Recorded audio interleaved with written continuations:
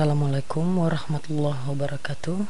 Jumpa lagi dengan saya Yudi Saputra Yang kali ini akan membagikan tutorial tentang cara merekam desktop kita Mengedit videonya dan menambahkan intro dan outro pada video yang diedit tersebut. Oke, uh, tanpa basa-basi langsung saja.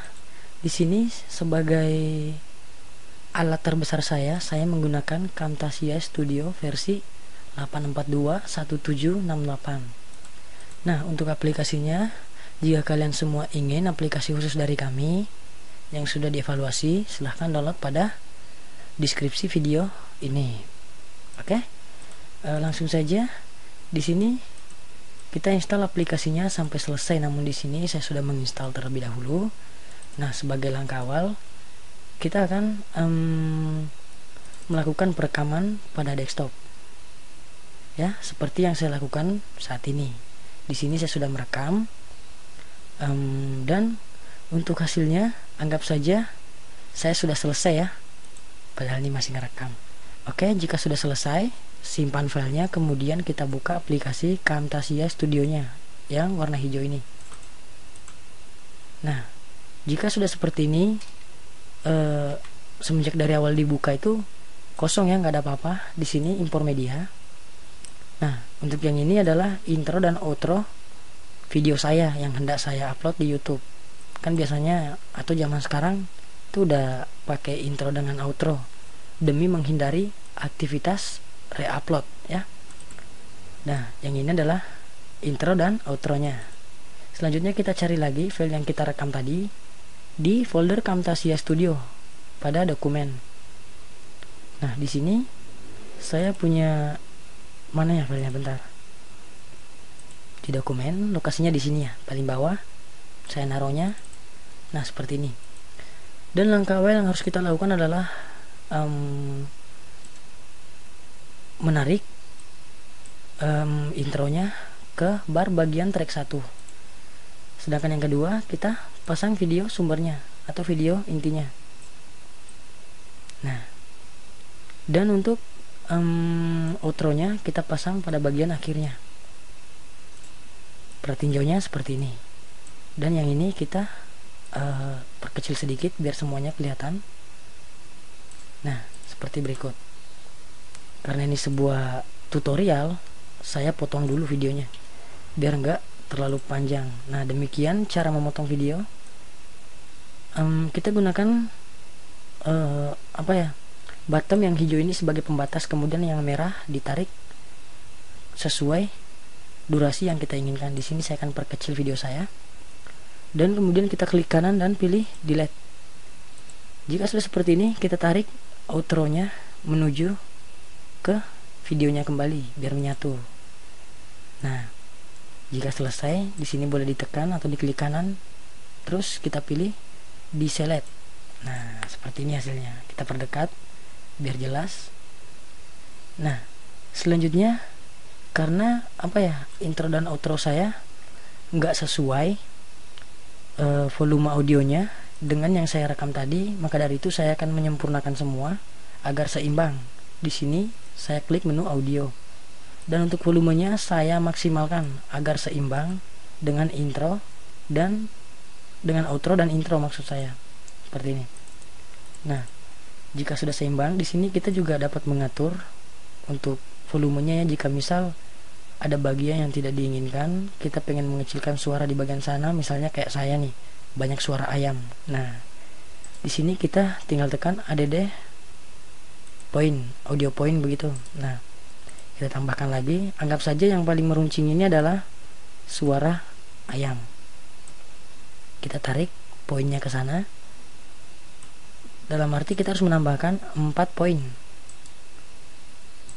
Kita coba lagi di bagian sini dan kemudian di sampingnya lagi.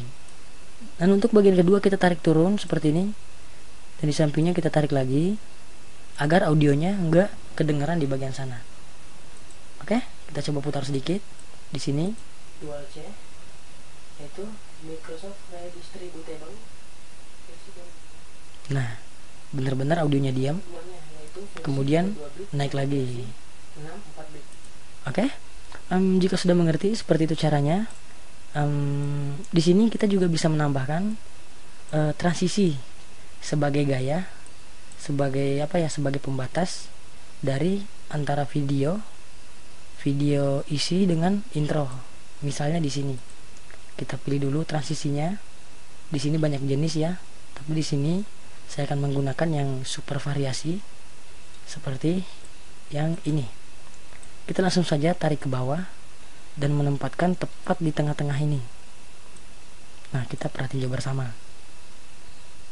Hasilnya tepat di tengah-tengah ini. Saya ulangi sekali lagi ya. Tarik ke bawah tepat di tengahnya.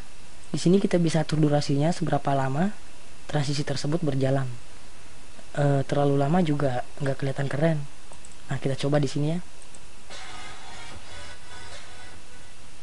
Nah. Oke terima kasih. Oke kita akan ke outro nya menuju ke tempat yang paling ujung. Nah, di sini.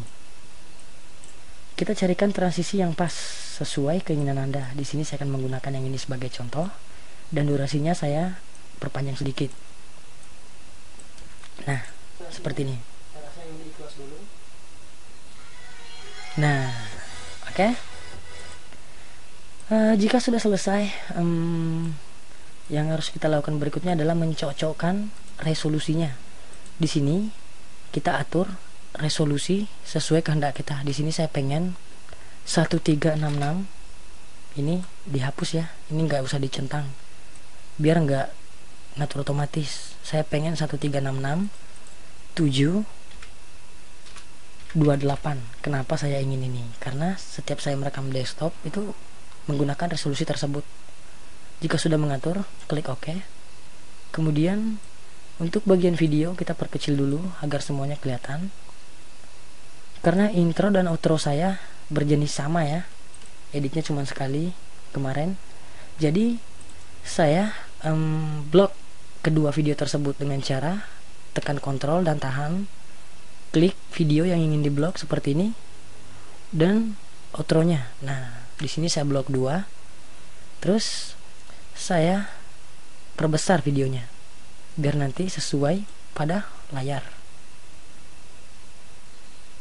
nah bentar saya intip dulu biar nanti sesuai pada layar ya nah seperti ini. Nah untuk ke senternya kita periksa lagi. Yang ini video pertama sudah di bagian center. Sedangkan video yang kedua belum. Nah di sini kita dapat um, apa ya kita dapat juga mengkombinasikan sebuah video. Misalnya pengen memutar lebih dari satu video maka di sini saya akan mencontohkan uh, outro saya saya bawa ke sini dulu biar mutarnya itu secara bersamaan nah seperti ini. Oke langsung saja saya coba play nah seperti ini. Oke uh, agak lalot ya udah berat banget nih komputer saya. Oke videonya terputar uh, double ya. Jadi biasanya orang-orang itu kalau ingin membandingkan sesuatu dia berani membagi dua videonya tuh dan menunjukkan bahwa yang sebelahnya original gitu yang satunya palsu gitu. Asik. Oke jika sudah kita kembali menyusun seperti ke yang semula. Bawa kembali outronya kembalikan ke tempat asalnya. Dan untuk intronya kita sesuaikan dengan layar desktopnya. Nah, seperti ini. Sudah cukup. Dan untuk outro-nya kita juga tarik kembali sesuaikan.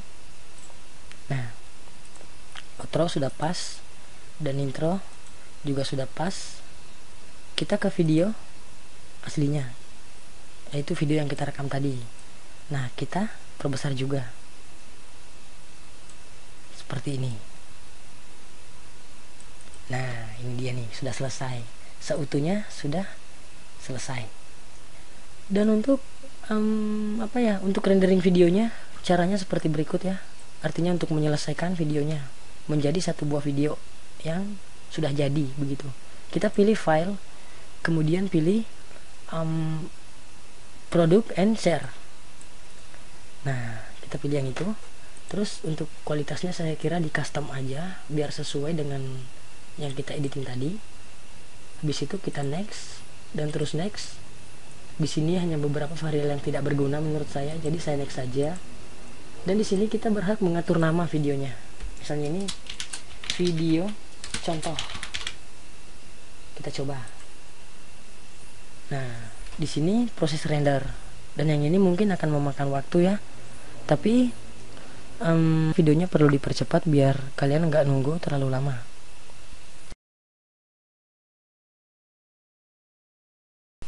Oke pemirsa sedikit lagi.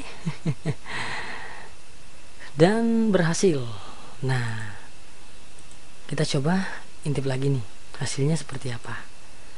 Um, Cara ngintipnya saya rasa ini di close dulu Biar nggak memperberat. Untuk projectnya nggak usah disimpan ya. Jika memang nggak perlu diedit-edit lagi Atau nggak ada kesalahan pada videonya.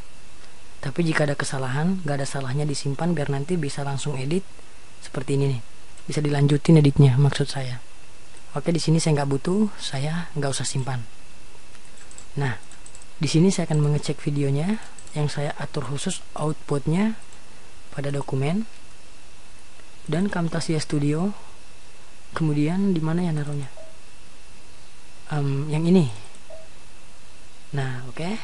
kita cek dengan cara double klik gini aja kok nggak tahu sih Nah, apakah ada kesalahan? Hmm, sepertinya sempurna.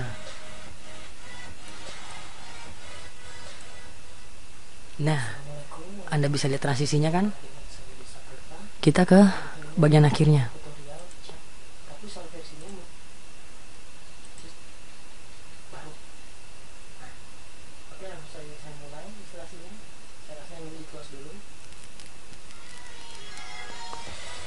Oke. Jika sudah begini, artinya video kita ini sudah siap diunggah di YouTube, ya. Sudah siap untuk ditonton ribuan orang. Asik. Oke, saya rasa tutorial kali ini sudah cukup. Semoga bermanfaat untuk Anda.